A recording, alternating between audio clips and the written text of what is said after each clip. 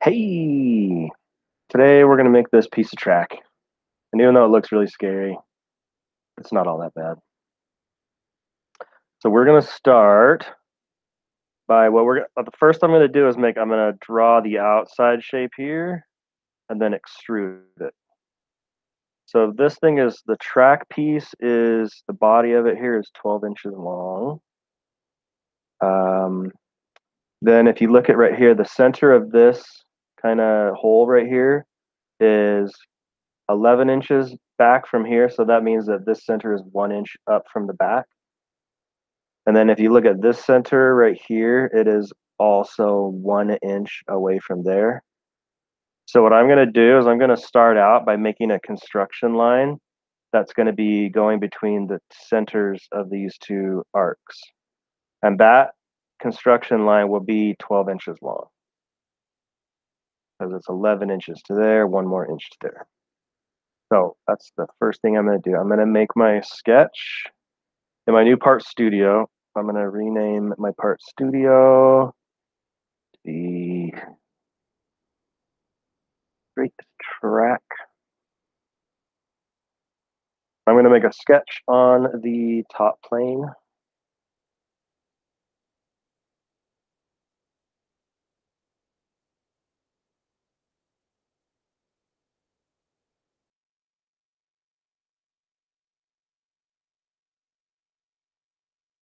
Wait for this circle to spin a little bit. Okay, now I'm going to make my construction line. I want it to go through the origin.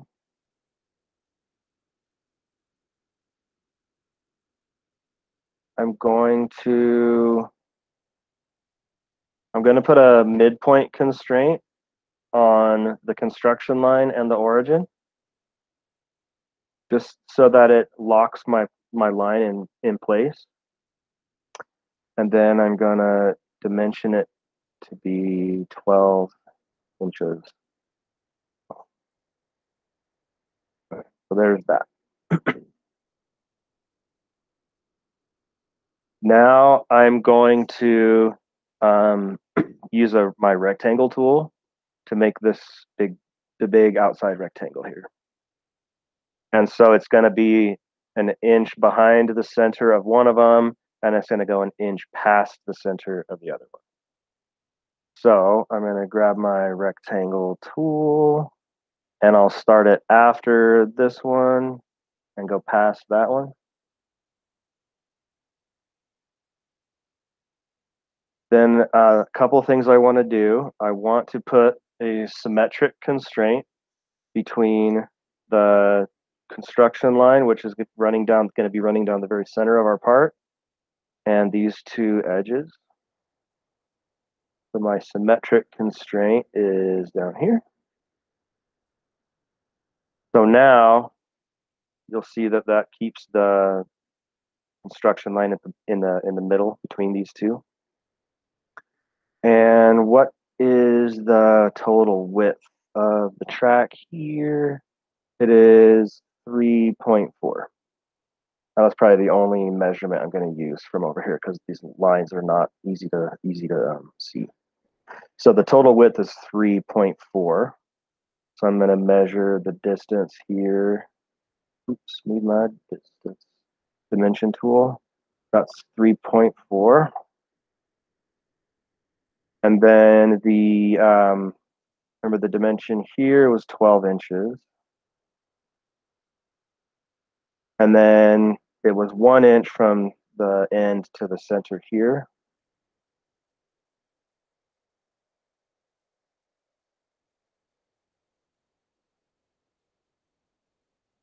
And then it's the same there, but you notice that everything has already turned black because this is 12 inch, because of the measurements that we've already put on, we don't need to put this measurement to be an inch here. That would be over dimensioning it. And if you see, if I try to put this dimension on here, it'll probably put it in gray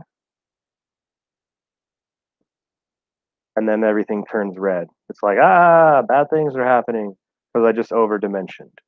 So all I would have to do is just delete that last dimension because everything was already um, fully defined here. Okay, so now I need to uh, make these make these um, like kind of puzzle piece shaped stuff where the track pieces fit together. So um, I'm gonna, this part's gonna be an arc, and then I'm gonna have, I need to have a couple of straight lines coming out. Um, and those little straight lines, all we need to do is for the, for the back part here, the distance between the straight lines is gonna be 0.65. And on the front part of the part, the distance between these two lines is going to be 0.6.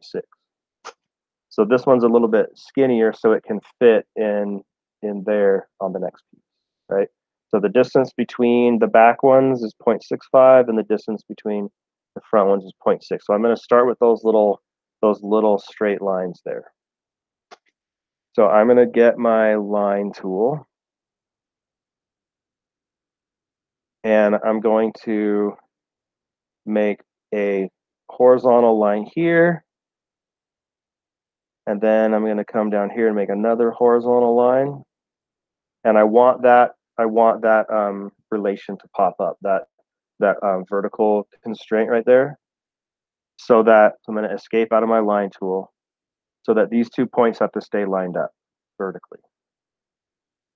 Now the next thing I'm going to do is I'm going to select the construction line and both of these and put a symmetric constraint on those also because I want those to be centered around the, the center of the piece. So now you can see that if I move one, they stay centered. And the distance between these, this was this is the back where it's going to be the cutout, the hole that's cut out. That distance is 0.65.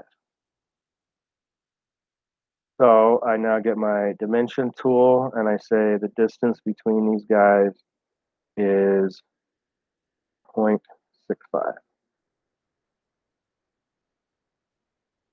And now this is the center of the arc. So I'm going to use my my center point arc tool. I'll click here on the center then once on that line and once at the other vertex. And the radius of that arc is 0.75. So I can just, before I click on anything else, right after I place the arc, I can just type in 0.75. If you already clicked on something else, then all you would have to do is um, is just use your dimension tool to put that radius on that arc. So now I'm going to do a similar process up here. Oops. I'm going to do a similar process. Oh, where did we go?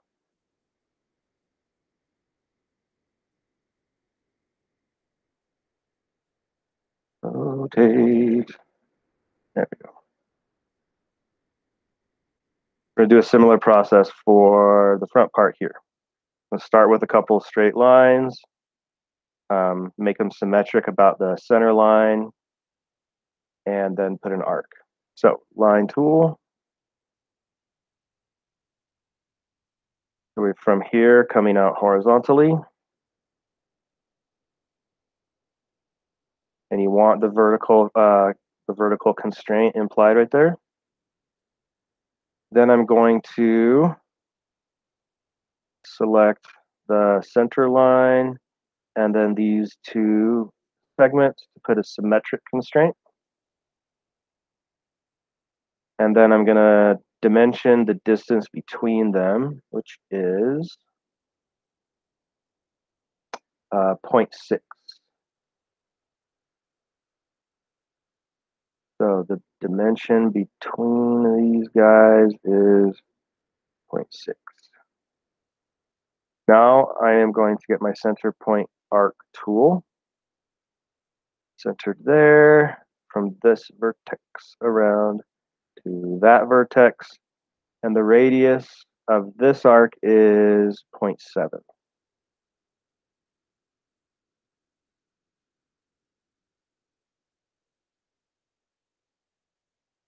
So now we are done with this sketch. Now here's a here's something that I would recommend that you do when you're finished with your sketch before you go to do your extrude.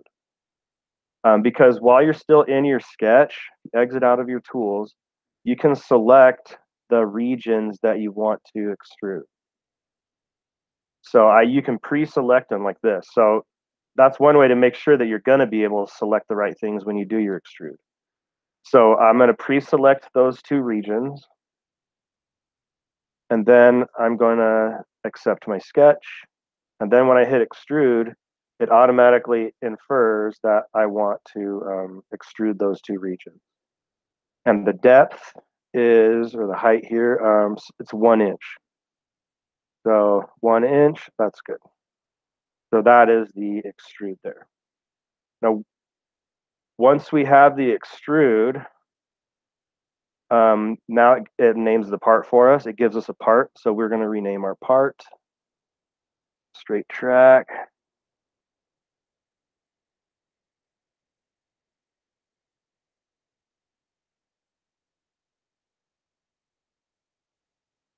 And now let's look back at our picture and see what else we need to do to this.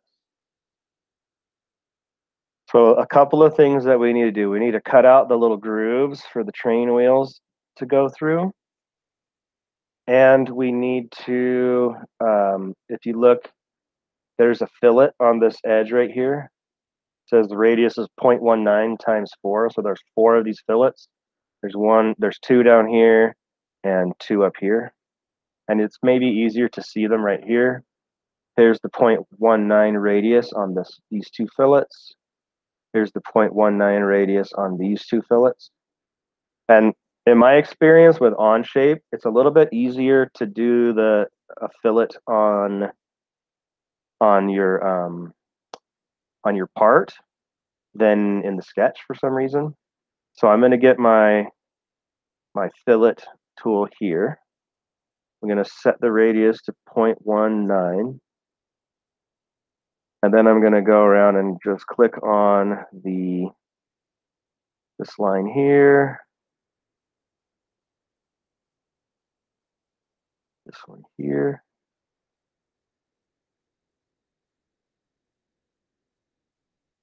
That one. And that one.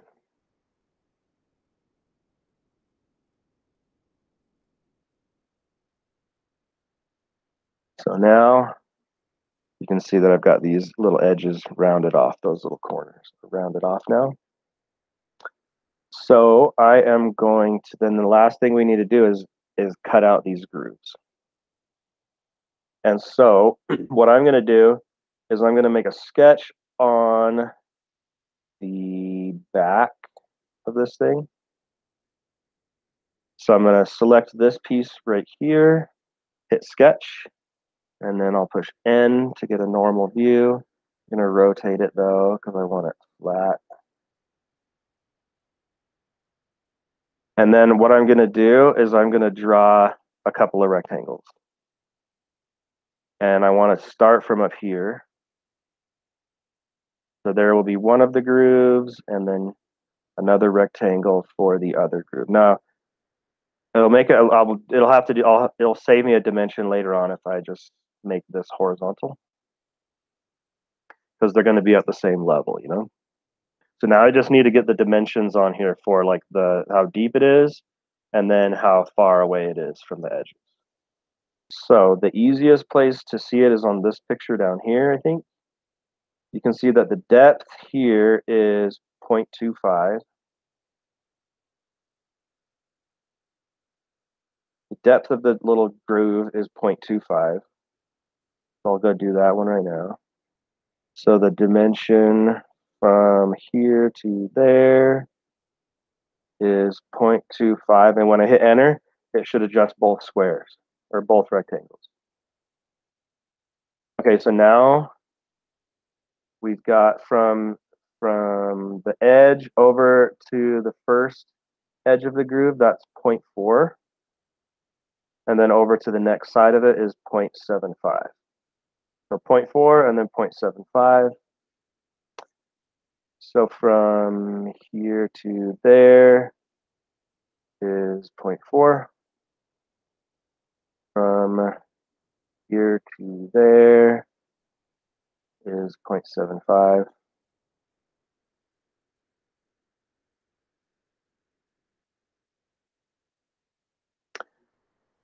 And then for the other side, that is 0.265, I mean 2.65 and 3.0. So 2.65 and 3.0. So from here to there, 2.65. Um, here to there, three inches.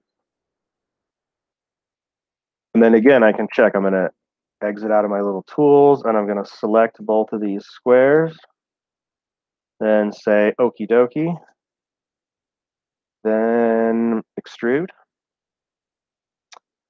It starts off trying to add. We want to switch to remove. So it's cutting away. And we can just say through all. Check. And now we have got our uh, train track now. All done to diddly.